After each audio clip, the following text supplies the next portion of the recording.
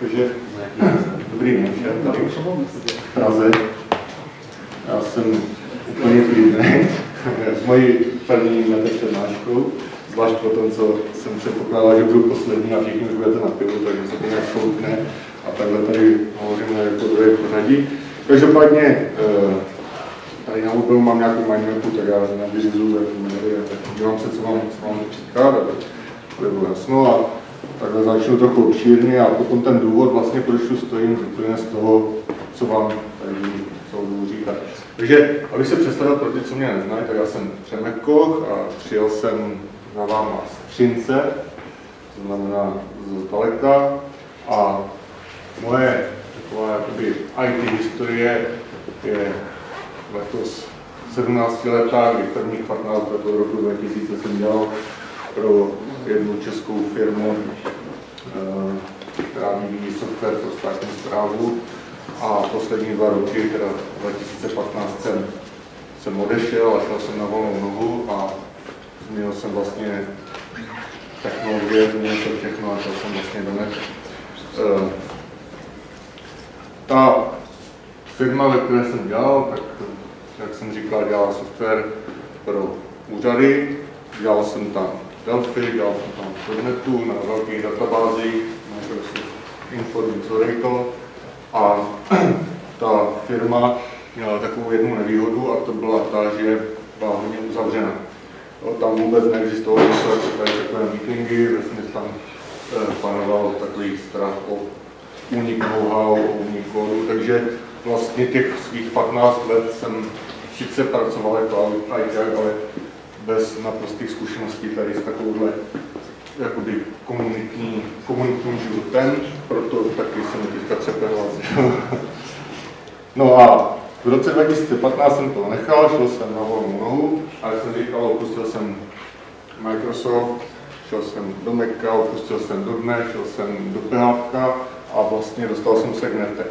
A od té doby dělám několik nete projektů, a považuji se spíše za backendáka. Já ten frontend neumím už z toho titulu, že mám absolutní absenci prostě nějaké eskutečnosti. Takže tak.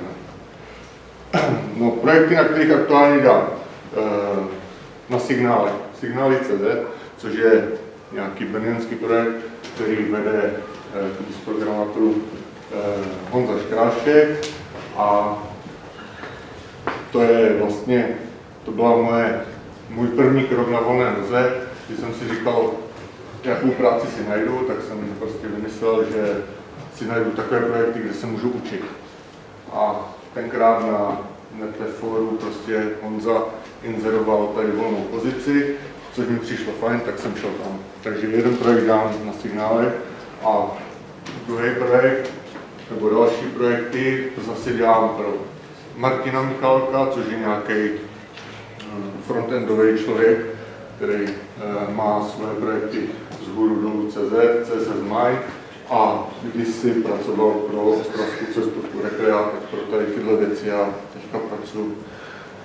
No a z aktivit možná jste někdo zaregistrovali NetTFB Smilovice pivo, tak, tak to jsem já a kolega Martin Matrušek, takže my dva se scházíme jednou za měsíc na, na Smilovickém pivu. Mimochodem ten Martin Matoušek ještě nějakým Vaškem Juchalkou mě tenkrát vlastně navedl na nete. Eh, v době, kdy jsem vlastně s ním poprvé kontaktoval, což bylo někdy v roce 2013 a eh, tenkrát mi to jakoby doporučili, což bylo jakoby velká náhoda, protože zrovna oni dva se jakoby vyskytli nějakým řízením osudu právě v době, kdy Nete jakoby David pouštěl do světa, takže byli mezi těma prvníma několika lidma, se kterými prostě proběhlo nějaké takové setkání. Což je jako fajn, eh, já jsem na tom ocenil strašně jako strmou učící křivku, že jsem vlastně velice rychle byl schopen eh, začít cokoliv nějak dělat, i když jako nebudeme si lhát, jako ty první projekty, jak se na ně dneska podívám, tak, tak to nestalo za moc. Ale byly funkční, že jo, a mě třeba stačily. Ty první věci ještě nekomerční, že jo, co jsem dělal, tak pro sebe, tak to bylo v pohodě. A hlavně po těch dvou letech, co jako v tom funguju, tak jsem zjistil, že tím, jak jsem přešel jakoby z Donetu a nikdy předtím jsem nedělal PH jakoby čisté, tak já vlastně nejsem schopen bez toho nete v PH vůbec pracovat. A ani bych si to asi naleznul, nebo ne, asi určitě, protože jsem zjistil, že nete za mě řeší tolik věcí, které bych jakoby nebyl schopen obsáhnout, eh, že prostě ani nemám ambice jakoby čisté PHP vůbec použít. Takže já jsem takový PHP programátor, ale jenom nete, protože, protože čisté PHP prostě neumím. Co je jako docela zajímavá věc. Tak. Počká, si tady jenom vyčistím nos trošku.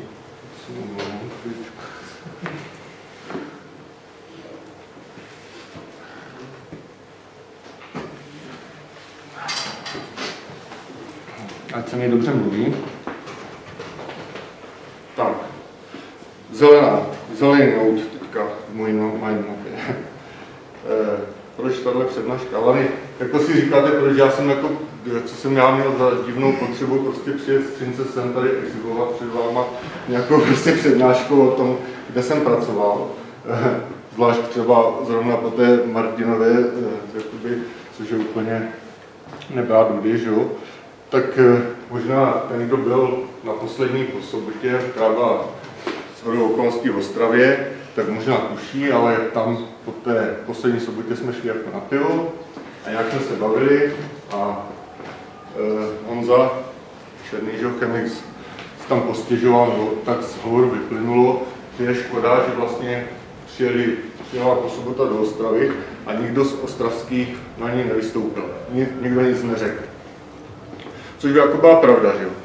A dále jsme rozbírali prostě tu situaci, zjistili jsme, že jsme na těchto sobotách posledních tady vystupují pořád ti samý lidé, i když jako ty témata se mění, ale ve smyslu jsou pořád stejné ohrané tváře a já jsem jako říkal, nebo zastal jsem takový názor, že prostě to je možná tím, že ti noví speakeři se jako bojí. A slovo dalo slovo a několik piv a potom jako jsem říkal, OK, OK, tak já prostě přijedu na další poslední sobotu a ukážu všem tady těmhle jakoby lidem, kteří jsou třeba, že já pořád se považuji po těch letech za nováčka, nemám moc co říct jakoby profesního nebo nějak, nějaké sofistikované řešení nějakých věcí, ale prostě přišel jsem vlastně ukázat, že i já jsem schopen si tady jako postavit nějakým způsobem a něco říct. A to je jako možná fajn, a možná bych tady tímhle mojím vystoupením chtěl nastartovat jakoby takovou štafetu, že by na každé další poslední sobotě, která jako v budoucnu bude, by se třeba hecel někdo novej, který ještě nikdy nevystoupil tak jako já třeba, nebo to můžete slíbit třeba na dnešním pivu a pak musíte přijet, že jo? tak jak jsem to udělal já. A prostě v tom sedmiminutovém sketchi, který tady máme, že jo, tak prostě něco říct. A aby bylo jakoby o čem mluvit, jenom ne se představit, protože to ve jako nebude nikoho zajímat, tak bylo fajn jako vymyslet něco, nějaké rychlé téma, jenom o čem takhle ti nováčci nebo lidé jako já, nechci jako říkat nováčci, jako, jako můžou povídat. A dlouho jsem přemýšlel, co bych jakoby tímhle vystoupením vzkázal a tak nějak vyplynulo, že bych mohl říct o pár takových věcech, které všichni považují za samozřejmost, ale na které já jsem narazil e, při tom mém jakoby, začátku znete. A jsou to opravdu banality, ale zjistil jsem, že e, měli podstatný vliv vlastně na, na to, abych se dostal někam dál. A sepsal jsem si několik teda bodů a několik doporučení k tomu. Takže prvním bodem, co bylo jako velice zajímavá věc, bylo, jak důležité je vybrat si správné ID. Já, když jsem, ještě než jsem začal pracovat jakoby, eh, na volné noze, tak ty své první projekty soukromé jsem dělal v PHP Edu, což prostě jsem sedl na internet, že jo, napsal jsem PHP ID, vypadl mi PHP Ed, co nám bylo fajn, tak jsem to zaplatil, koupil a v tom jsem dělal. Tak dělal jsem v tom prostě několik věcí, nějak jsem si sám nastavil svůj code style, že jo, který vlastně vycházel z toho, jak jsem 15 let dělal prostě v internetu a takhle jsem prostě psal tímhle způsobem. A potom, když jsem se jakoby dostával k otázkám na fóru, k otázkám lidem, tak prostě jsem měl strašný problém ukazovat jim kód, nebo respektive ten kód po mě nikdo nechtěl číst už jenom z toho titulu, že ten formát byl tak špatný, že jako nikdo se s tím nechtěl zabývat. Já třeba, když si vzpomenu, tak my jsme měli tenkrát na té firmě e, v Code takový zvyk, že všechny uzavírací složené závorky, jak endy, že jsme komentovali. Takže jsme měli if a pak byl konec, složená závorka, komentář, end if. Begin, konec, end begin. Jo, end metod a tady tyhle věci. To já jsem prostě normálně takhle všude psal, což jako byl strašné z dnešního pohledu. Jo, a takové prostě špatné návyky vedly k tomu, že jsem měl problém uh, se jakoby dostat nějak někam dál než od stolu svého. Takže jakoby první rada je vybrat si jakoby dobré idečko, což jako samozřejmě ten PHP může být. Já používám jako asi většina tady PHP Storm, že jo? což, což je jakoby, si myslím docela dobrá věc, ale nejde o to ani jako ten samotný program, ale dobře si, nas, dobře si ho nastavit. Což třeba ten code se dá nastavit, jakoby vzít si to nastavení od někoho, od někoho jiného, který už v tom pracuje. Že? Dá se vlastně říct, že, že, nebo takhle, jak jsem se setkal, tak to jedno nastavení nějak všichni s menšími objednami používají jakoby dohromady, takže, takže potom přechod mezi projekty jako není problém. Tak, e, potom samozřejmě je dobré jako se naučit ten, to IDčko používat. Že? Tady bych jakoby doporučil přednášku od Honzi Tvrdíka, který dělal jakoby nějaké video na internetu, koluje, že? jak správně ovládat a třeba, e, třeba e, jako zrušit záložky, kontroverzní věc, zrušil jsem a nemůžu na to, jako musím dát za pravdu Honzovi, že opravdu jako je to dobré. Potom jsem objevil, nebo když jsem využíval na laravacast.com eh, je nějaký seriál videí How to be a Sam in, in PHP Storm, takže ten se dá taky použít. Nějaké, mám tady poznámku editor config, docela používám v rámci projektu, že jo, což je nějaký plugin, který právě nastavuje ten code style a e, v případě, že pracujete s lidmi, kteří používají jiná IDčka, tak, tak vynucuje vlastně to správné formátování. Netelate pluginy, což jsou tady věci od, od kluků, že jo, kteří napsali a e, které taky pomůžou. A na poslední přednášce, jako dobrý tip bych dal, opravdu jsem si zamiloval od poslední soboty, to byly ty Extended PHP Inspections, což jako to si fakt dejte, to, to, to, mám rád. Je to plugin do. Potom další jako, takovou větší věc je jako dobře se naučit Git, nebo minimálně pochopit, jak funguje. Bez toho taky jako se nedá nějak dostat dál. E, za to musím poděkovat teda Honzovi Škraškovi, který mi dal jako velkou školu tady s Gitem pracovat. A jinak na webu je potom e, stránka firstaidgit.io, kde se dá najít několik, nebo je tam spoustu nějakých rad na různé situace. No a e, když jsem e, přecházel na tu volnou nohu, tak vlastně, e, nebo takhle, řeknu to jinak. Tyhle ty rady vyplývají ze situace z doby, kdy jsem přecházel na volnou nohu a ne, ještě jsem si nevěřil, tak jsem si prostě objednal služby nějakého mentora, se kterým jsem prostě měl několik, několik video že jo, a se kterým jsem prostě konzultoval ty své výtvory a tam jsme právě narazili na ty problémy. No. On nebyl prostě, měl strašný problém se mnou už jenom z toho, že ten můj takhle vypadá.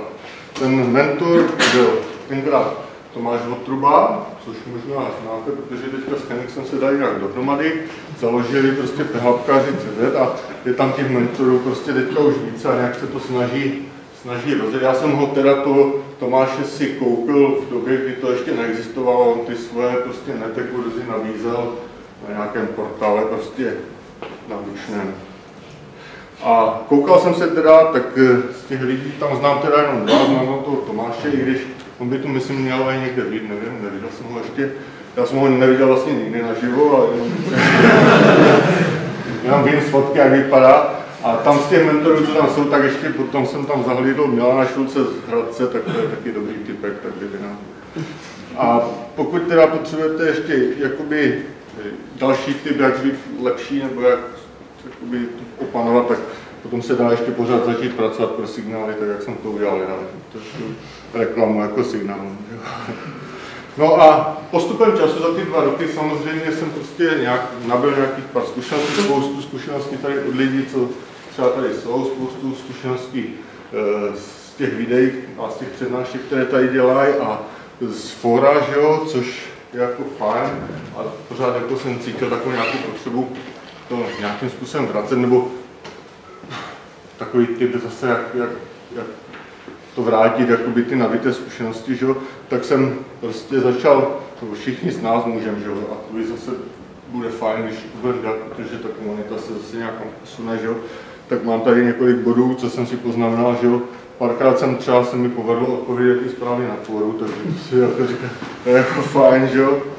E, potom samozřejmě všichni znáte, no, možná používáte komponenty.com, že jo, jsou ty komponenty pro nete, tak tam se mi povedlo taky umístit jednu komponentu, která má teda šest stažení, tak jsem možná se čtyři jsem udělal já, tak dvou lidem jsem třeba udělal radost, což mě jako Jinak je to, kdybyste třeba nechtěli hledat, což asi nebudete, tak je to uh, upravený paginátor na to, aby na první stránce mohlo být jiný počet jakoby těch, těch položek než na všech ostatních stránkách. Tak to je taková maličkost. Pak jsem se, dokonce se mi poštěstilo jakoby, eh, kontribuovat do dokumentace NETE, je jakoby loňská, na konci loňského roku zkušenost, kdy jsem právě Martin Zlámal natočil krásné video How to Contributing pro NETE, kde je asi tři nebo čtyři body, jak prostě si stát tím přispěvatelem buď do projektu nebo do dokumentace, tak na základě toho videa se mi povedlo opravit až si šest písmenek v dokumentaci, což jako taky... A potom, potom z toho na poslední právě na tom pivu poslední soboty vzniklo ještě jedno video, kde jsem v podnapilém stavu líčil vlastně tady tyhle, tyhle eh, moje pocity z toho vlastně skladné, takže to se dá taky zjistit. No a v poslední řadě potom, jak se tady eh, jakoby zviditelnit nebo nějak vrátit, eh, vrátit té komunitě to, co se čerpá, že jo, třeba formou této přednášky, že jo, kterou jsem se tady jako teďka odvážil postavit, pořád ještě se třepu, takže jako, myslel jsem, že to se nespadne a nespadne, nespadlo, ale není se čeho bát, tady čtu, že jsem si poznamenal dopředu už teda. Každopádně Honza Černý je jako fajn v tom, že, že tady eh, to vystoupení jsme schopni s ním, nebo kdokoliv je schopni s ním konzultovat a on jako umí docela dodat váhy, takže, takže i když jako se mi těžce dneska tady jelo, tak už jenom proto jsem tady přijel, jo. A samozřejmě vždycky můžete konzultovat s těmi mentory. No, takže to byla taková moje nějaká kostrbatá, kostrbatý rychlý talk o, těch věcech, co jsem tady řekl. E, byl bych moc rád, kdyby třeba tady tohle moje e, video nastartovalo, jak jsem zmiňoval, nějakou štafetu tady těchto videí a že by se třeba jsme mohli hecnout, zvlášť ti, co nikdy nemluvili, že jo? A třeba na příští, na příští po sobotě zase vystoupí tady v tom sedmým tutoriálu, nebo já nevím, jestli jsem dodržel, asi ne. E, ten formát, v tomhle formátu prostě další někdo a řekne třeba pár nějakých věcí, nebo si nachystá třeba prezentaci s nějakým kouskem já když třeba půjdu dneska na to pivo a nikdo se nepřihlásí, tak možná zase třeba. Ale nechci do Plzně, takže já si počkám, až třeba navrhnu. Takže to je asi všechno. Já myslím, že dotazy asi nikdo nebude mít, protože to není něco psát. Takže přeju vám pěkný den a hlavně, se vám daří. No,